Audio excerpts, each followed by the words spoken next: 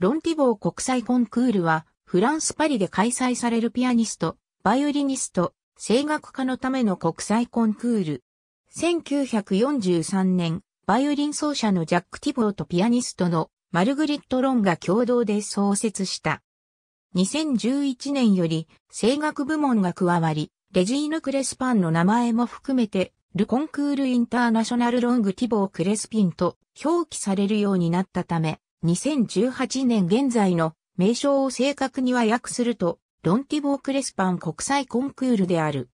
かつては、ピアノ部門とバイオリン部門が同時に行われ、複数のファイナリストが優勝を争う、権威と活気のあるコンクールであった。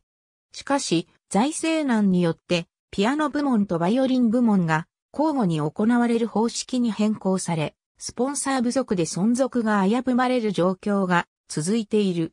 1980年代からアジアの個人、法人が多く、スポンサーに名乗り出て、アジア人の入賞率が上がっていた。日本のフジテレビがスポンサーだった時期もあった。2013年は開催されなかった。優勝者を選ばずに1位なしの2位が最高位となることも多い。予算不足は相変わらず続いており、ピアノは2019年で調整されているため、かつての各年開催から4年に一度開催のペースに変更されている。ありがとうございます。